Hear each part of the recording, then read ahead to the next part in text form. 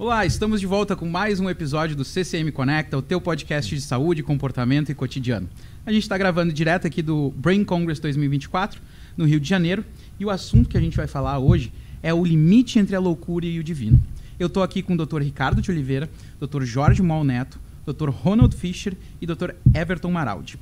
Pessoal, para começar, como é que a gente estabelece a diferença entre uh, ou os limites entre a loucura e o distúrbio e as experiências uh, espirituais? Bom, a loucura é um termo que já foi parte do linguajar médico, mas hoje ele é um termo muito mais literário do que técnico. O que aconteceu nas últimas décadas é o que as manifestações que antigamente se chamavam de loucura, o louco, elas foram é, categorizadas em distúrbios específicos, que recebem nomes mais é, precisos. Por exemplo, psicose, delírio místico, por exemplo, que tem a ver com o que a gente está conversando. E o mais importante é que várias manifestações que ocorrem em doentes mentais, elas frequentemente elas podem acontecer na população normal sem que isso indique a menor é, evidência de que essa pessoa seja é, doente mental. Então, com isso, eu quero dizer que a gente tem que ter muito cuidado em não superdiagnosticar determinadas experiências, como, por exemplo, comunicação com espíritos, ou inúmeras outras que eu vou pedir aos meus colegas para detalharem. Mas a mensagem mais importante que eu queria deixar é que o fato do sujeito ter experiências transcendentais ou anômalos não significa que ele seja um doente mental. Todos nós, eu acho a maioria de nós tem experiências na família disso e nem por isso a pessoa é anormal. A gente, para o ouvinte que está em casa, a gente tem algum exemplo de uma situação que possa ilustrar bem do que, que a gente está falando aqui? Primeiro, uma, uma observação, uma observação importante aqui, que existem tantas experiências, o, o nosso sistema cognitivo perceptual é bem complexo. E com isso tem várias opções. Isso a gente estava discutindo muito no início desse projeto, uh, que tem muitas opções de ter experiências fora do ordinário, do comum, da, do cotidiano, certo? E a gente está trabalhando com um instrumento que foi desenvolvido uh, nos Estados Unidos, a uh, que já trabalhou muitos anos com essa temática, e ela começou a pegar experiências na literatura. Isso não significa que essas experiências uh, que não existem outras experiências. São experiências que já uh, foram discutidas na literatura. Alguns exemplos, uh, como ela trabalha na, na, na religião, ela está muito focada nessas experiências. Então tem, por exemplo, o amor. O amor, um profundo amor com alguém ou algo que se destaca da sua vida uh, pode ser a compaixão com outros. Uh, de repente você sente uma compaixão com outras pessoas que, que marca você. Mas também tem outras uh, coisas que já entram muito mais. Até o amor, você pode pensar que pode ser uma coisa patológica. É e tem outras experiências, tipo uma experiência de de repente você está vendo você e você está fora do seu corpo ou ouvir vozes. Você está em casa, de repente alguém está chamando você, ou você está ouvindo uma voz de alguém que já passou, ou a, a presença de uma pessoa que já faleceu um tempo atrás, uma presença de uma energia que você não consegue explicar. Um, déjà vu, tem tantas. Uh, no, no contexto do instrumento, a gente tem 42 uh, experiências, mas isso não significa que não tem outras. Então é um campo enorme e o problema mesmo é diferenciar um pouquinho o que é o, o, o problema, o que é o divino, tipo, o que faz sentido dentro de um contexto religioso espiritual e etc etc então aqui tem uma multi uma multidão de experiências possíveis com várias interpretações possíveis. Então, isso é um campo interessante. E é, e é sempre uma, uma questão de interpretação, uh, e no final cada um acredita no que. No que, no que acredita, enfim. É, na verdade, não. Até existe essa discussão na literatura grande sobre o diagnóstico diferencial que a gente fala, né? Quer dizer, como é que você separa uma experiência patológica de uma saudável? Então existem vários critérios, vários autores já discutiram isso, critérios para você usar na prática clínica mesmo, um médico, um psicólogo, um profissional de saúde mental. Por exemplo, ausência de sofrimento, esse pode ser um critério. Então, quando a pessoa é, não sofre com a experiência, pelo contrário, ela promove bem-estar ou ela está mais ligada a uma transformação pessoal positiva, isso pode ser um critério de que ela é saudável, né? Se a experiência é acolhida pelo contexto social, cultural, em que a pessoa está inserida, ao invés de ser uma coisa estranha, né? uma experiência idiosincrática, excêntrica, isso pode ser um outro critério. Então, esses critérios são muitas vezes utilizados como uma referência, mas o que a gente discute hoje muito né, é de que talvez eles não sejam suficientes ainda. É, talvez casos mais extremos eles consigam separar mais evidentemente. Então, é, onde realmente você tem ali uma série de déficits cognitivos, você tem é, dificuldades, desafios que as pessoas enfrentam do ponto de vista ocupacional, tal, isso fica evidente que isso muito provavelmente tem um caráter de um transtorno mental. Isso acompanha outros sintomas, por exemplo, depressão, ansiedade, então isso pode ser um indicativo. Mas você tem casos, e aí esses é que são os mais complicados, né? Em que às vezes você pode ter algum grau de sofrimento, você pode ter algum grau de, de, de incompatibilidade com o contexto cultural, mas é realmente um transtorno? Né? A gente fica sempre nessa, nessa dúvida. Por exemplo, é, para dar dentro desse universo enorme de experiências, está um exemplo. No Brasil, a gente sabe que existem religiões como o Espiritismo, Umbanda, em que se pratica a mediunidade, pessoas que dizem servir de intermediário para comunicação de pessoas falecidas, espíritos e assim por diante. É muito comum que os médiums às vezes relatem isso, né? É, médiums de umbanda, às vezes, que vão enfrentar desafios ao longo da sua trajetória, vão ter experiências mais desafiantes. E isso às vezes não é só uma coisa que acontece no começo, quando a pessoa está praticando. Isso às vezes vai ao longo de anos. Às vezes, um pai de santo, uma pessoa que se dedica a essa prática já há muitos anos, ainda assim pode ter experiências que em algum momento ele vai se sentir desconfortável, não vai se sentir bem, vai envolver algum sofrimento e assim por diante. Então, isso é doença, isso é transtorno? Né? Muitas vezes não. Então, tem de se ter também um olhar longitudinal. Você tem que a, aprender a olhar ao longo do tempo e considerar outros critérios para poder tomar essa decisão. Então, não é uma coisa fechada ainda na literatura, mas há meios, pelo menos, de você separar quando isso é mais evidente para um lado ou para o outro, digamos assim. Né? Quando vocês relataram e falaram sobre as experiências e o fato de se tratar ou não uh, de um transtorno me mental, não há ainda, pelo menos eu não notei uh, nas colocações de vocês nenhuma, uh, nenhum questionamento ou nenhuma avaliação sobre se de fato aquela experiência tem alguma coisa de, de divino, de transcendental ou não. Mas mais a avaliação de tipo se aquela pessoa tá bem de saúde ou não está bem de saúde. Como que vocês lidam com essa. Eu imagino que seja difícil a gente avaliar e dizer para a pessoa que tem ou teve as experiências de tipo o que tu tens uh, não existe, não é real, ou não é uma coisa divina, ou é de fato uma coisa divina. Enfim, como que é essa questão? Bom, eu na prática, a primeira providência que eu tomo é de assegurar aquela pessoa que ela não tem nenhum diagnóstico, que aquilo é normal. Que muitas vezes é um alívio para a pessoa.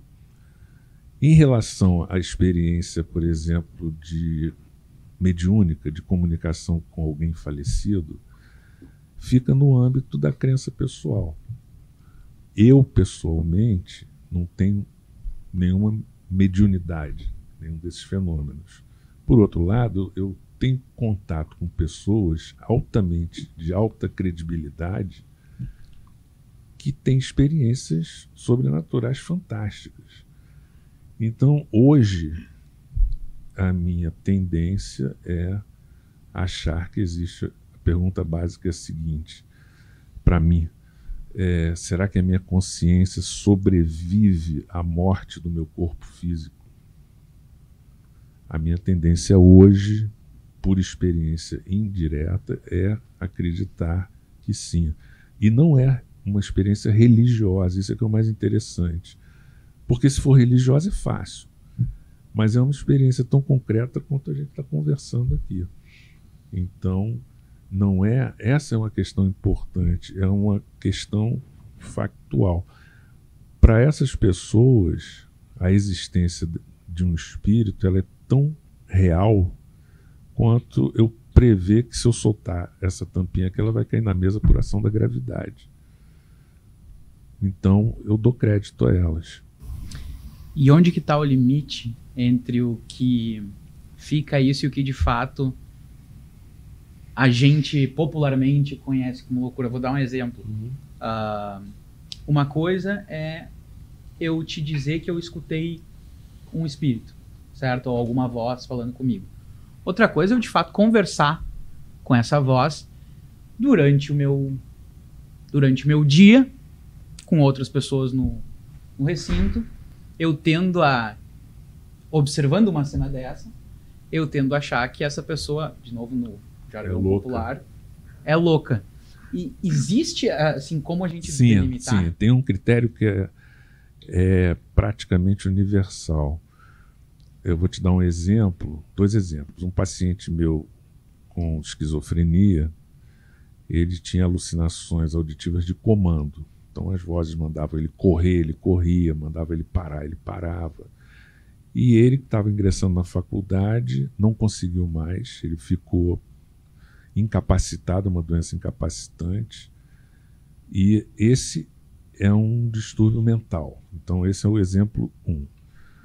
O exemplo 2 é um grande amigo nosso que tem experiências de visões de espíritos, de audição de espíritos, de conversar com os espíritos, e é um indivíduo altamente produtivo. Onde é que está a diferença entre o normal e o patológico?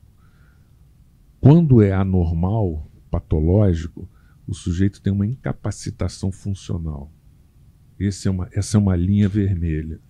Se o sujeito tem uma experiência dessa, continua estudando, trabalhando normalmente, eu não tenho nada a ver com ele. Eu, não, eu quero dizer o seguinte: eu não sou o critério de normalidade. O critério de normalidade é cada um. Porque senão daqui a pouco eu vou achar que eu sou o termômetro da humanidade. Não é muito difícil acontecer isso. Então eu vejo como é a vida dele até aquele momento. Se a partir dali ele continua trabalhando, estudando, tchau. Ele pode botar uma melancia no pescoço, ele está trabalhando, estudando, produzindo. Esse cara é normal. Não é, não é por ele ser esquisito ou estranho que ele tem um diagnóstico. A partir do momento que ele não consegue funcionar, a grande chance dele ter um diagnóstico de uma doença mental ou comportamental. Não sei se ficou claro, mas. Mas eu acho que nesse, nessa questão da normalidade, aqui já entra um pouco essa questão da cultura e da norma. Se você pensa, por exemplo, no contexto em que você aceita que uma pessoa talvez tem problemas de vez em quando e você atribui isso para um, uma causa supernatural, talvez você vai aceitar alguns comportamentos fora da norma em um outro contexto. Estou falando sobre o seguinte, por exemplo, eu, eu trabalhei bastante na África e na Ásia. E dentro de um templo que tem uh, médiums, uh, espíritos lá, uh, eu, eu, estava acompanhando essas pessoas durante de cinco anos. E uma entrevista me marcou muito, porque um cara que estava sofrendo parece epilepsia. Uh, tipo, ele estava tipo várias vezes durante o dia, tipo, caindo, tipo um blackout, alguns minutos e voltou.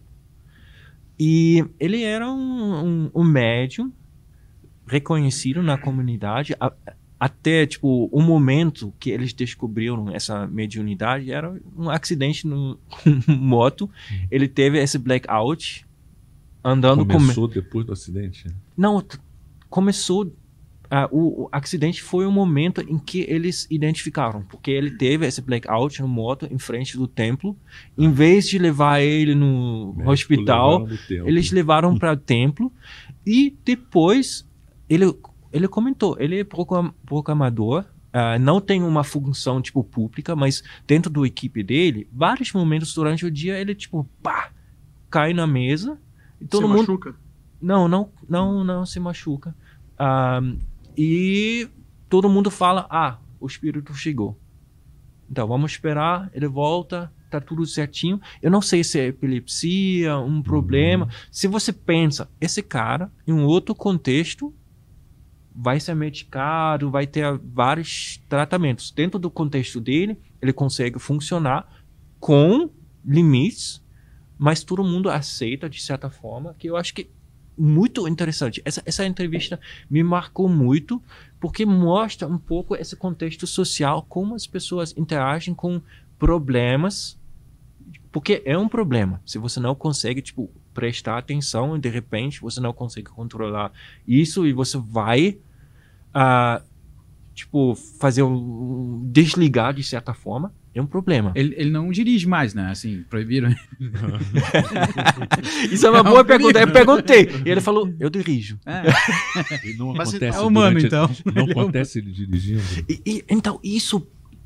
Ele foi um dos casos casos que eu achei muito interessante. Muito, Tem, é, muito. Teve outros casos, tipo, doenças muito difíceis, tipo, os médicos não conseguiram uh, identificar a causa.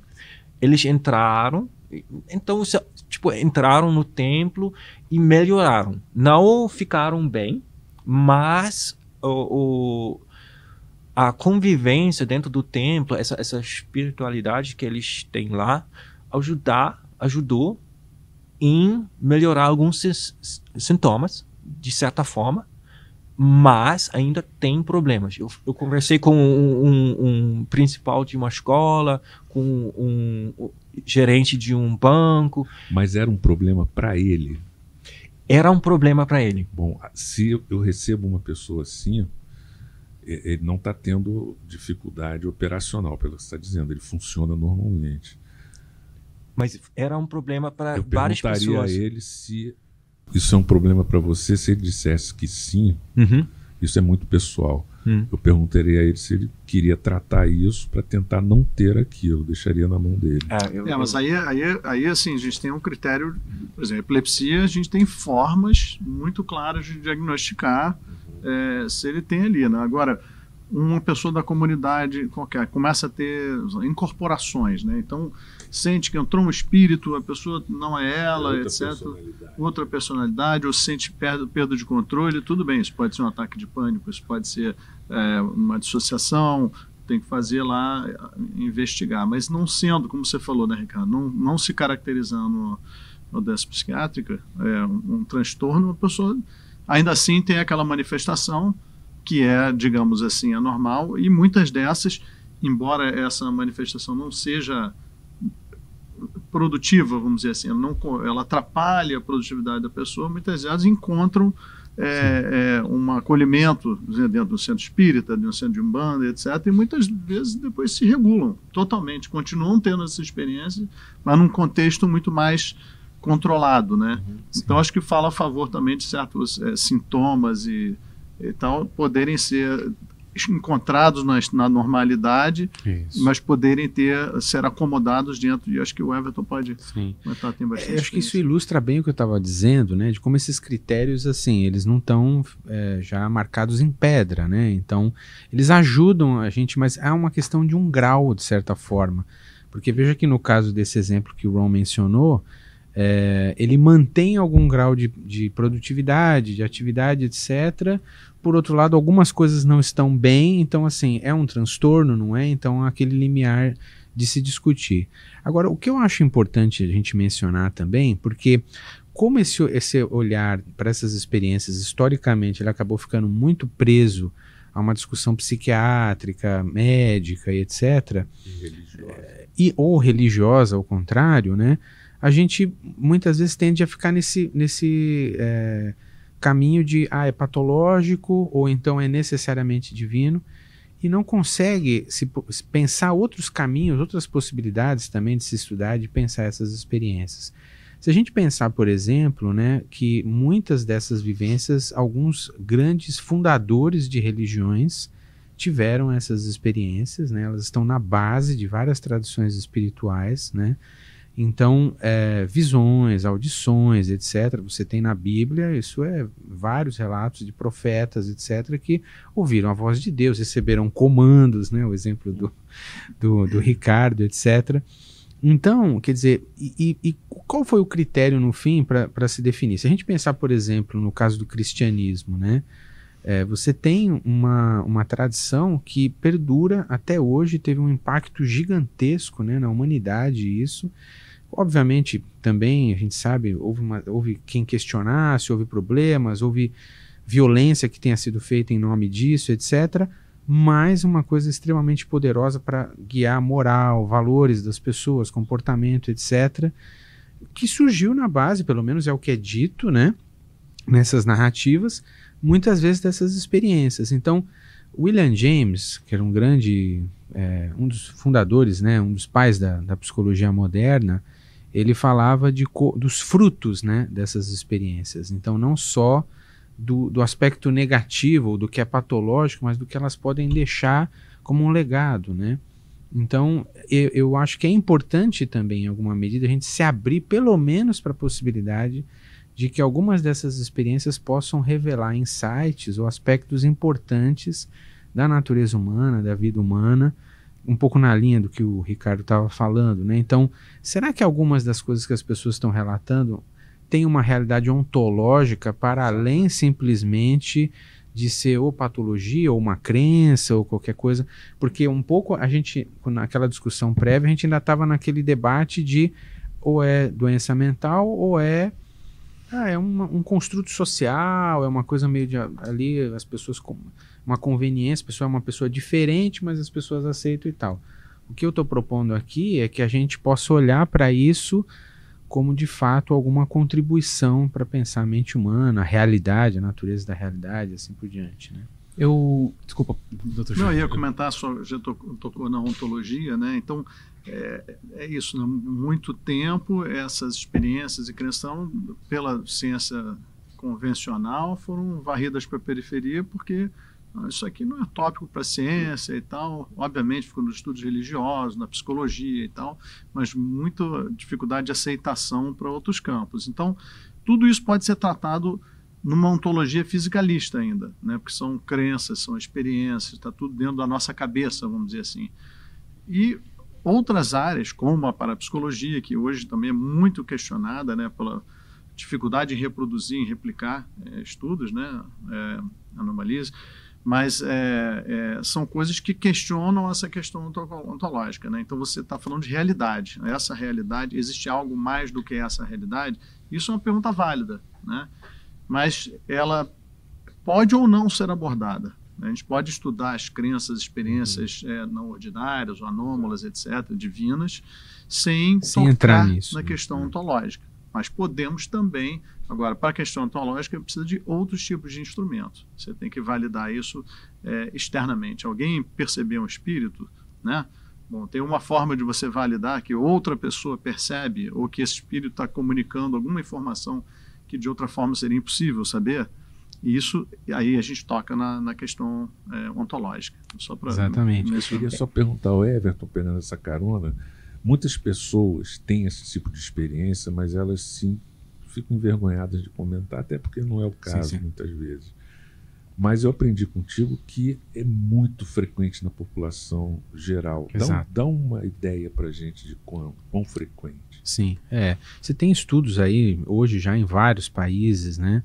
Estudos mostrando claramente questionários, inventários, como, como um pouco na linha do que o Ron mencionava, a pesquisa da professora Taves, enfim, é, mostrando isso nos Estados Unidos, vários países europeus, em outros contextos. No Brasil, a gente tem uma pesquisa grande mostrando que mais de 90% né, dos respondentes é, tiveram alguma experiência desse tipo em algum momento da vida. Né? Então é muita gente se você for parar para pensar.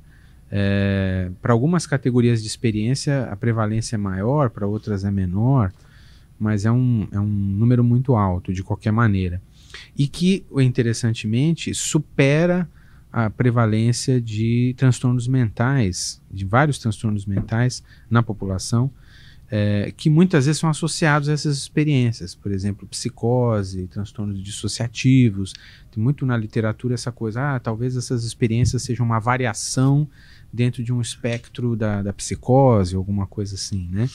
E eh, quando você pega a, a, frequência disso, desses transtornos, de pessoas diagnosticadas com esses transtornos na população, uma prevalência muito menor. Então não dá para pegar, no caso do Brasil, por exemplo, né, você tem mais de 90% aí. É então, todo mundo todo maluco, mundo né? maluco, Vai, né? Quer dizer, é uma coisa.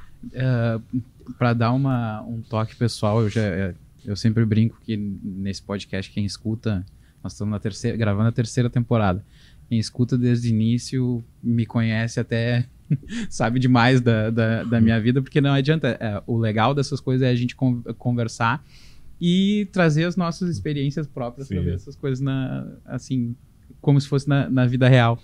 Eu, a, minha, a, a, minha família, do lado do meu pai, é toda espírita, né? Kardecista e tal. A minha avó e o meu avô fundaram uma casa espírita em Porto Alegre, a gente é de Porto Alegre. Uh, o meu avô faleceu em, em, em, 1978, então eu nem, eu nem cheguei a, a conhecer. Mas a minha avó uh, teve aí com a gente até 2009, então eu tive muito tempo com ela. E quando. Então eu fui cri, criado nessa, nessa cultura. Então existe uma casa espírita que foi fundada pela, uh, pela minha família. Então a gente tem, tinha a rotina de ir né, e, e participar. E quando eu tinha mais ou menos uns, uns 11 anos. E a minha, e a minha avó era. Ela era como se fosse a diretora espírita, assim, sabe? E diretora espiritual, sei lá. E ela, ela tinha, então, ela recebia, ela psicografava, uh, ela tinha, ela enxergava, ela con conversava. Evidente. E, uh, mas, mas tudo isso também começou numa época em que ela passou por um, uh, uma instabilidade na vida dela muito grande. Eu, eu, não, eu não sei a história exatamente direitinho, assim, para dizer para vocês com, com muitos detalhes, mas ela teve internada na Pinel, em, em, Porto Alegre. Só que eu não sei se foi antes disso ou por causa de, por causa das manifestações que ela estava uh, ah, trazendo. Mas enfim, ela resolveu isso na vida dela, incorporou na vida dela e, e, e fundou a casa e e, e tem, a, a, acho que a coisa mais legal de toda é todo o caráter assistencialista que tem uh, uma organização dessas, assim. Mas enfim, eu fui criado nessa, nessa vibe, assim. E aí, quando eu tinha mais ou menos uns 10, 11 anos, eu era criança, né, assim, eu fui numa festinha de um, de um colega, de uma colega, e eu me lembro que a gente tava correndo, não sei o quê. Tá, é, devia ser uns 11, 12, não me lembro exatamente a idade, mas eu me lembro que já tinha assim, interesse em guria, guria e tal. Tinha uma, aquela coisinha assim, não era só uh, brincar de, sei lá, de pega-pega, etc. E em determinado momento, assim, já era, era tarde, era de noite, eu sentei no, numa cadeira de plástico dessas de praia e eu meio que dormi. E eu acordei vendo meu avô. Só que eu nunca vi meu avô, né? E então eu achei que eu estava tendo. Como eu também fui criado naquele ambiente e que isso era uma coisa quase normal, eu achei que aquilo era uma manifestação como essa. E eu me lembro direitinho de da imagem que eu tenho na cabeça ser uma imagem que é, acho que é a única foto que tem uh, do meu avô, assim, que eu, que eu já tinha visto. Eu, eu, obviamente eu não liguei uma coisa com a outra na hora, assim, mas eu entrei em pânico daí naquele momento. E tiveram que chamar meu pai e minha mãe me buscar, porque eu tava. Eu tava em pânico mesmo. Eu achei que eu tinha. E eu fiquei com medo, né? E aí, tá, beleza, daí uh, teve a função, minha avó tava viva nessa, nessa época e tal, me aconselhou ali e começou a me levar pra casa espírita pra, enfim, trabalhos, sessões, etc. foi horrível pra mim, porque eu era uma criança, assim, né? E eu não sei se vocês já foram em casa espírita, assim. Já. É meio que um pandemônio, assim, de. Eu, eu tô falando abertamente, não tô criticando, eu tô falando Sim. numa boa, porque eu participava bastante, mas assim, tu vê umas coisas bem, né, assim, às vezes muito legais, às vezes meio assustadoras mesmo. É. Principalmente pra uma, pra uma criança. Então aquilo foi uma. Na, na minha vida foi uma coisa meio assim. Eu até hoje não processei muito bem, assim, se foi uma coisa que fez bem, fez mal, etc. Beleza, passou isso, nunca mais nada, né? Tô lá eu com, vai, 18, 19 anos. Eu fui dormir um dia no meu quarto, normal. E cruzei com a minha mãe no corredor, fui pro meu quarto, deitei. Achei que eu, eu ia. Eu nunca fui de deitar, tipo assim, deitar na cama e dormir é, muito rápido.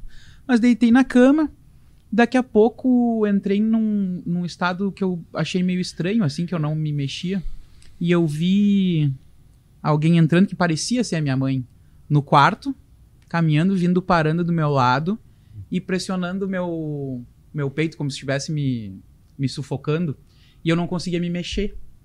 E eu achei que eu estava acordado e não conseguia me mexer, então achei que era uma mais uma dessas experiências. Só que dessa, dessa vez eu tava com medo, porque a, pessoa- a impressão que eu tava tendo é que tinha alguém ah, fazendo uma pressão muito grande ah, em mim. E eu fiquei de novo assustado, só que dessa vez eu não falei nada pra ninguém. Pense- Porque passou, deu 3, 4, 5 segundos e passou. Eu pensei, "Ah, que coisa. Meu Deus, voltou tudo, não sei o que. Já fiquei meio, meio apavorado, assim, né? Aí, um tempo depois, eh, alguns anos depois, assim, eu tive um diagnóstico de transtorno bipolar. Daí eu pensei, ah, bom, que bom, eu era bem louco mesmo. assim, tipo, não tem problema, não era nada. Porque eu sempre morri de medo daí desses negócios. Eu até hoje não vejo filme de espírito, porque eu morro, morro de medo, assim.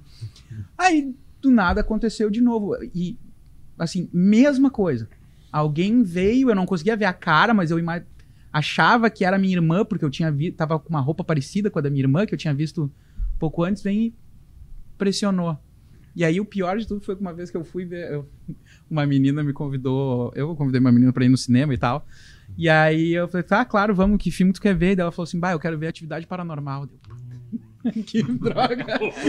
aí fui, fui ver, fui ver o filme, eu tentava não abrir o olho, tentei fingir de todo jeito, mas tive que ver o negócio. Pá, eu fiquei com muito medo do filme inteiro.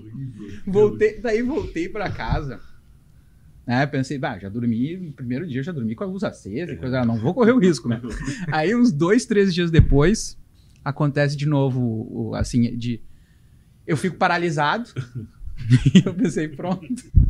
Olhos, Acordei, eu, olhos acordei, ou eu- não sei, eu não sabe. acho que eu tô de olho aberto. Sim, sim. Eu acho que eu tô de olho aberto, mas eu não tô.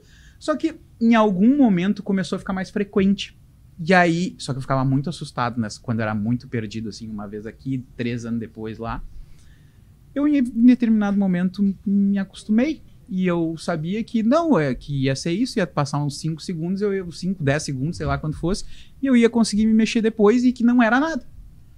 E, dito e feito, continuou acontecendo por algum tempo mais assim, com mais frequência. Não é assim todo dia, etc. É muito uma vez que outra, mas mais próximos. Agora eu não consigo. A última vez que aconteceu deve fazer uns 4 ou 5 anos. Então não é uma questão assim, mas quando aconteceu as primeiras vezes, eu, meu Deus do céu. E o que, você acha? Qual é a tua interpretação disso? Eu, eu sempre. É engraçado isso, porque eu sempre disse que eu não acreditava no, nas crenças da minha família, né? Então eu nunca segui, eu nunca quis ah, acolher a, a- essa cultura e, essa, e, a, e a religião, assim. Ah, então eu sempre disse que eu não acreditava em nada e etc. Mas era uma, assim, uma posição muito frágil, porque eu sempre tive muito medo. Então se eu tenho já- medo, já- é porque eu acredito, né? De alguma forma. Você Então- conhece, já falar em paralisia do sono não? Não. Não. Fui Tá, diagnosticado, então, graças a Deus. Que não? Não somos espíritos. Vamos lá, que eu já tive isso também. Então, A minha, a minha família, a minha avó, que é quem eu, eu, eu tinha muita proximidade, eu morei com a minha avó, inclusive, no final da, no final da vida dela, era uma coisa também. ah, a minha avó morava sozinha, ela tinha 88 anos. Ah, eu, no final da faculdade, acabei indo morar, morar com ela, porque era mais, era mais perto, era na mesma cidade da, da faculdade, mas era assim. Minha avó já era bastante idosa, ela tinha 88 anos, então assim, ela não enxergava bem já há algum tempo. Então as coisas eram assim, uma casa de uma pessoa que não enxerga sujeira muito assim e tal, assim, tinha um aspecto e ela tinha uma coleção de São Francisco de Assis de um monte de de um monte de jeito, assim, sabe? Então tem, tinha uns que era bonitinho, tinha uns que era meio assustador, era todo um negócio assim. E eu continuei uh, morando ali um pouco depois dela, dela falecer. Então todo aquele ambiente para mim era uma coisa Você muito. foi, conseguiu. Mas então, aí o que que, o que, que acontece? Eu sempre. Eu sempre. Eu, eu tinha medo, você tem medo até Sim. hoje. Não, não é uma coisa assim, ah, eu não tenho mais medo. Ah, eu morro de medo. Mas uma coisa que eu tinha que, que eu tinha que fazer, que eu pensava, então, olha, para eu conseguir, para não ser o problema, eu tenho que ficar com medo e ver o que, que vai acontecer. E aí eu. Não aconteceu nada. Não aconteceu nada, mas olha, eu me. Cara, eu vou te dizer, eu tenho pavor também. Eu não conseguiria ficar assim como você Nossa, ficou. Teve uma vez, sei lá, acho que umas duas semanas depois da minha avó ter falecido, e aí eu, eu não dormia no quarto dela de jeito nenhum, Pô, porque eu morri de medo, né? pô, aí é demais. Eu eu, dormia no... Macho peronomútil. Exato. Eu dormia no quarto do lado. E aí um dia eu tô, tô indo dormir e assim, duas semanas depois da minha avó falecer, eu tava dormindo de luz acesa todos os dias. Não tinha nenhum dia que eu tava dormindo no escuro. E aí, gente, eu tinha já 25 anos, não era uma coisa que não era uma criança, Pô, entendeu? eu tenho quase 70 aí. Não... Aí, eu- aí o seguinte, eu tô vindo dormir e eu escuto um barulho assim. Uma coisa batendo na porta. Eu tô so- morando sozinho, num apartamento que era dela. Tipo, isso devia ser meia-noite, uma hora, duas horas, não sei. Perfeito. Ah, já fiquei com, né, pensei Que com- andar era, hein, cara? Pra saber quantas andar. pernas tu quebrou. No terceiro andar, terceiro andar. E eu, meu Deus, começou. Começou, eles começaram a vir aí, que eu tô, que eu tô Porra. aqui, tô, tô ocupando o lugar dela e tal, não sei o quê.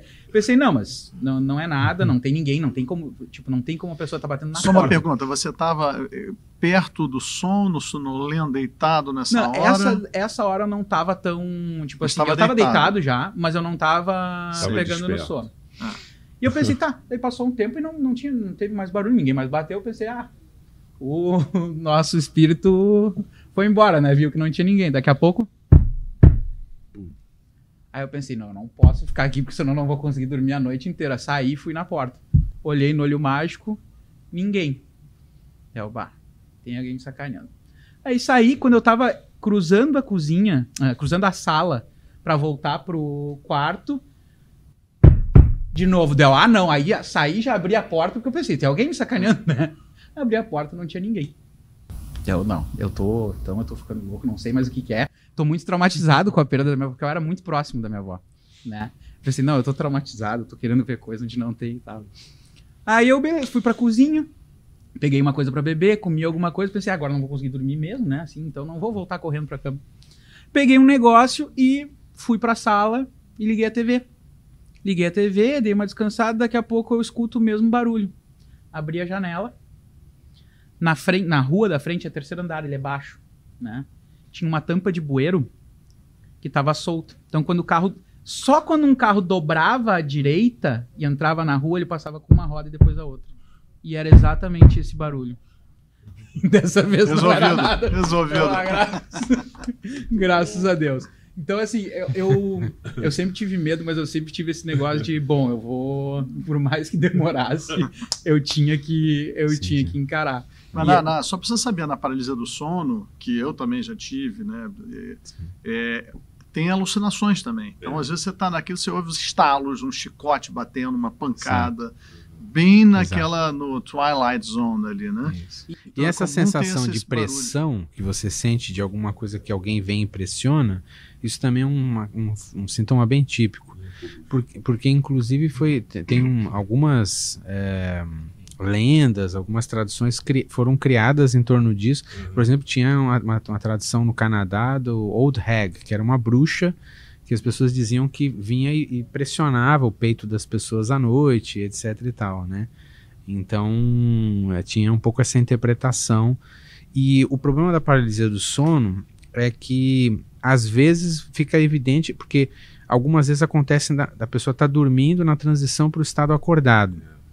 Mas, às vezes, você se põe a dormir, você ainda não, não sente ter dormido de fato, Mas só o fato de você já ir deitar e etc., você já está num certo limiar que poderia predispor em alguma maneira. Eu conheço alguns casos de pessoas que, mesmo não estando dormindo de fato, ou já com sonolência, mas só de já se colocar nessa situação poderia, em alguns casos, ter é. alguma. A maioria, a maioria das vezes eu vejo alguém, e é, é sempre assim, eu me lembro essa da minha mãe e da minha irmã muito, porque a minha, a minha mãe, essa foi a primeira vez, assim. E a pessoa que entrou no quarto que eu tava enxergando, ela tava com a mesma camisola da minha mãe, mas eu não via Tipo, eu não conseguia ver a cara. Quando foi a minha irmã, a mesma coisa. Minha irmã tava com um vestido floreado, assim. E a pessoa que entrou no meu quarto e veio me esganar, ela tava com. Como se fosse o mesmo vestido, mas, já, mas teve outras vezes que eu não via nada, eu só sentia como se fosse um. Uma uh, pressão mesmo. Uma pressão mesmo, sim, assim, sim, tipo, sim. vinha uma é. energia, uma, uma, uma coisa assim. Exato. Mas hoje a gente testemunhou Uh, uma coisa que nas três temporadas a gente nunca viu. Eu fui diagnosticado ao vivo por todos que estão aqui, mais pela doutora André e pela doutora Rosa que estavam assistindo aqui, que a gente vai gravar o próximo. Isso é novidade. Agora, só uma coisa importante: a paralisia do sono não é necessariamente um transtorno. Você tem esse. A pessoa pode é. ter as experiências e tal, mas pode não necessitar de, de, de tratamento. Aí teria de entender se tem alguma outra comorbidade, alguma coisa. Agora, o que eu acho importante também mencionar é o seguinte: a, a paralisia do sono, no fim, ela é como um estado em que a pessoa se coloca uma, uma mudança no estado de consciência e tal. O conteúdo dele é que é o grande mistério, né? Porque fala-se alucinação, tá? Ah, mas isso é da memória, é alguma coisa e tal. Ah, eu conheço alguns casos de pessoas em, em paralisia do sono que têm experiências bastante complexas, com muitos detalhes. Gente, por exemplo, que relata durante ah, estados de paralisia do sono é, que vem pessoas falecidas e não sabe explicar, mas sabe que a pessoa é falecida. Já vi muitos casos assim. Então, é, aí se realmente tem alguma coisa a mais, aí fica para a interpretação de cada um. É. Mas, enfim, eu acho que. Porque uma coisa não elimina a outra. Porque às vezes a gente tem que tomar o cuidado e não falar assim, ah, paralisia do sono. Então deu esse nome, parece que resolveu todos os problemas. E a gente ainda está entendendo muitas dessas coisas. Vamos né? lembrar que eh, essas, a questão da, do que era. É falado muito de, da viagem astral, né? Que, que é, é, é, um mecanismo muito, um processo muito parecido. Aquela indução, você sente estar paralisado, e a pessoa tenta. Eu tentei fazer, eu, era, eu tinha 18 anos, várias vezes nesses eventos, nunca consegui sair do corpo. Tá? E, mas só para finalizar esse capítulo da paralisia do sono, eu, eu fui. Eu, no caso, eu fui facilitando isso à noite, tentando né, sair do corpo e tal. É, nunca consegui sair, mas tem um efeito facilitador, né? Então chegou um ponto que eu tava toda noite ia deitar e bum, entrava nesse estado. E era extremamente desagradável. Então eu tinha de botar música e tal e para como se dessensibilizar, né, e não ter mais. Mas nunca se tornou nada patológico. Deixa eu contar uma história rápida aqui que é muito boa e que mostra como nós brasileiros a gente tem uma já por outro lado uma inclinação a interpretar as coisas pelo lado espiritual. É, tem uma amiga que foi levar o filho no aeroporto aqui no Rio, ela mora aqui na Barra, foi ao aeroporto de noite, o avião ia sair 11 horas, e estava chovendo muito no Rio naquela, naquele dia. Relâmpago, estava um horror. Ela deixou o garoto, queria viajar para o exterior, e voltou. Demorou muito a chegar em casa, ela mora aqui perto. E quando chegou em casa, deu uma cochilada e foi. Ali depois de uma hora mais ou menos, ela levantou e foi tirar a maquiagem, os cílios, e aí estava se olhando assim ao espelho, tirando a maquiagem, estava mais ou menos na penumbra, e ela viu o filho atrás dela que ela tinha acabado de deixar no, no aeroporto. Aí ela olhou, ainda olhando pelo espelho, ela falou: Filho, eu sei, você deve ter sofrido um acidente aéreo, você ainda talvez não tenha condição de entender, mas você desencarnou. E eu quero que você tenha muita serenidade nessa hora. E o garoto falou: Não, mamãe, eles cancelaram o voo. Muito bom, né? Muito bom. Gente, nesse tom eu vou agradecer a participação de vocês. Foi ótimo o papo. Obrigado. Muito obrigado. Espero que tenha sido útil para todo mundo. Em casa, para mim, foi ótimo. Já estou, já me sinto mais bem tratado.